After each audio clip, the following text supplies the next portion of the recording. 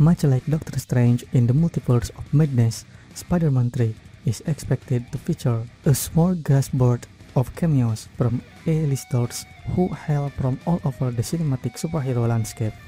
Indeed, we already know that the upcoming movie is set to bring back many familiar faces from past films and even past franchises that feature the titular web slinger.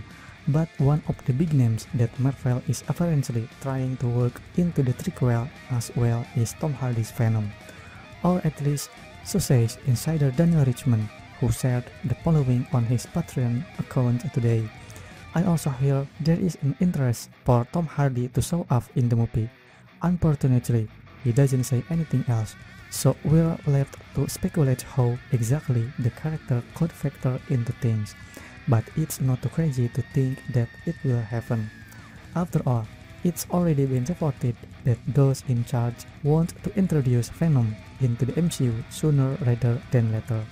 And given how at least one familiar foe is coming back for the next installment of the series, it only makes sense to try to incorporate Peter Parker's renowned nemesis into the fake as well, right?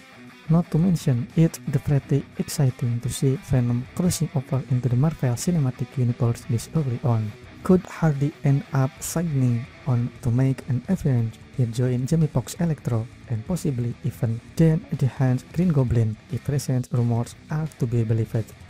Vincent D'Onofrio's Kingpin could be in the mix too, if the studio grants him his wish.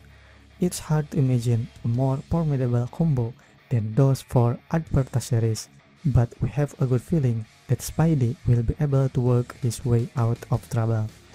Tell us George, do you want to see Hardy's character pop up in phase 4 of the MCU or would you rather he stay self-contained in his own franchise? Sound off in the comments and let us know what you think.